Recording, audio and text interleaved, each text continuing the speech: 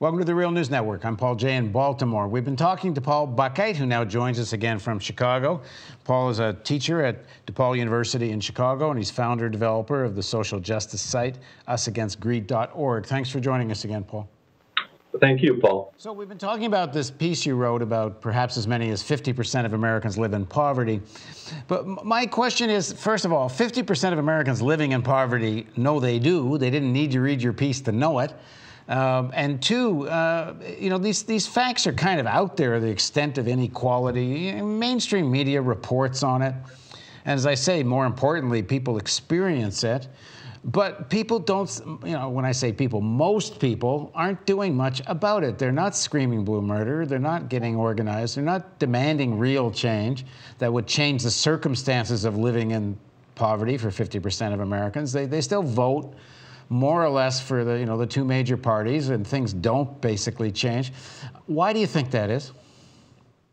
Well, first of all, let me say that's that's that's a great question. You know, it's it's something that um, most people, including myself, haven't really thought about. If things are this bad, why isn't there more backlash? Why aren't people complaining? And I, I've looked into it somewhat, and um, or, or, basically I've learned from other writers uh, about this.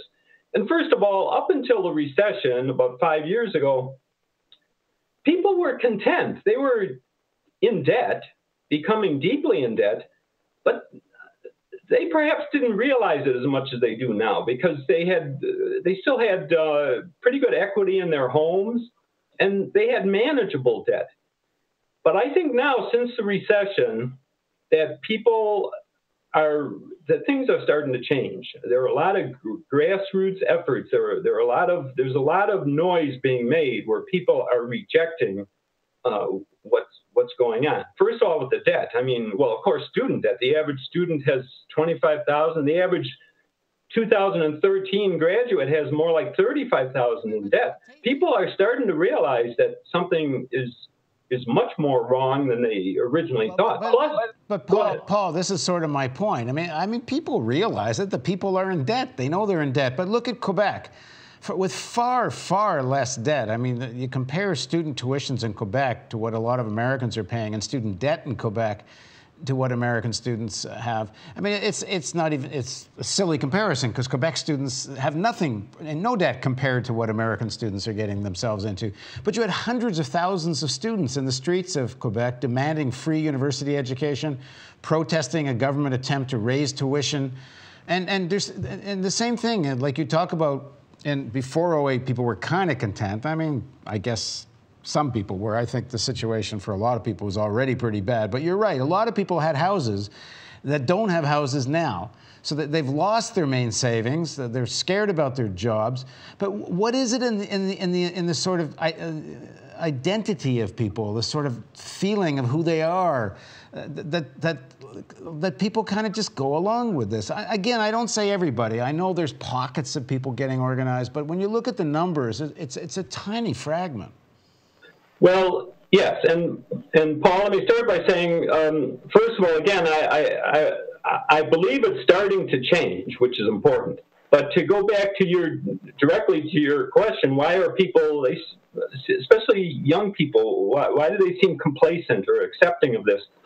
Well, one of the uh, one of the ways I've amused myself recently is to uh, have a survey, try to get young people to respond, to give me their uh, their opinions of companies like Apple and Google and Facebook.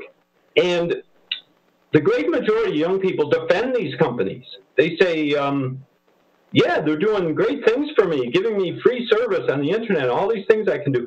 And there have been a, a couple, some really good books coming out lately about um, how companies like this, it's, it's somewhat insidious, and I could be wrong, but it's, it's, it's it seems that these companies have done a masterful job, like Google, for example, of, of giving what appears to be free service to everybody, an open internet, open um, apps to everybody.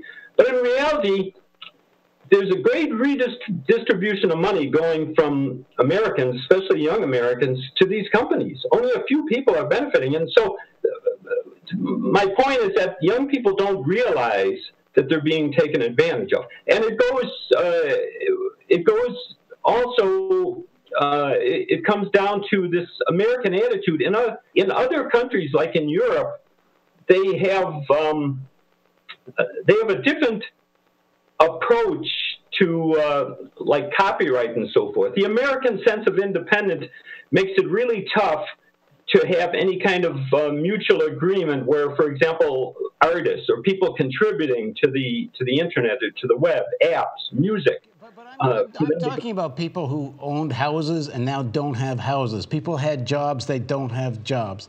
I mean, we're, we're talking, you know, millions and millions of people who, who are in extraordinarily bad circumstances, whose expectations, like a lot of this issue of, like we talked in the first segment about poverty and poverty in America may not be anywhere near as bad as poverty in the other the rest of the you know third world and such, but but that's what this is. It's about expectations that, that grow historically, and people come to expect a, a, college education for their kids.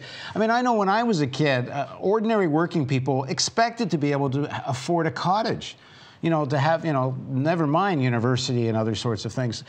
People's expectations have gone so low here that to have a lose your house and and your job, uh, it, it, it's not enough to get you going. Well, uh, again, I, I I believe that a lot of it has to do with that um, this um, sense of um, American independence, uh, winner take all you know that that is perfectly normal for a few people in America. The lottery attitude. It's it's normal for a few people to make big money, and they will be our cult heroes. You know, they're the ones we should aspire to be. And we still have this mistaken belief. You know, since American economic mobility is one of the lowest in the developed world, we have this belief. I think in America that well, so things are bad. We this is this is America, the land of opportunity. We things will get better. We will make it. I, I really believe that Americans, as opposed to Canadians or Europeans, have this belief that it's good for for people to get filthy rich. And if I haven't done it, well, it just means I have to work harder. Well, let me, let me say uh, the, the, the, big protest movement was in Quebec. Well, that's in Canada, that's Quebec, because I'm not sure the rest of Canada is all that different than, than the United States when it comes to complacency about these kinds of things. Well, right, yeah. Well, anyway, thanks very much, Paul. So, anyway, this is a question I, am addressing to all our viewers. Uh, why isn't there more of a movement in the United States? Why are people who have lost their jobs, lost their houses, uh, and, and millions of people have been living in chronic poverty for a long time, far before the 2008 crash, but the situation has involved so many more people now uh, who thought they had a secure future and find they don't. Um, why isn't there more of a response? So I'm asking you out there, and anyone has a really good answer to this question, write me, and it's, it's just at contact at therealnews.com. And anybody that has a good answer, uh, we're going to ask you if you'll be interviewed, and, and we'll have a discussion about this and other questions like it. Thanks for joining us, Paul. Thank you, Paul. And thank you for joining us on the Real News Network.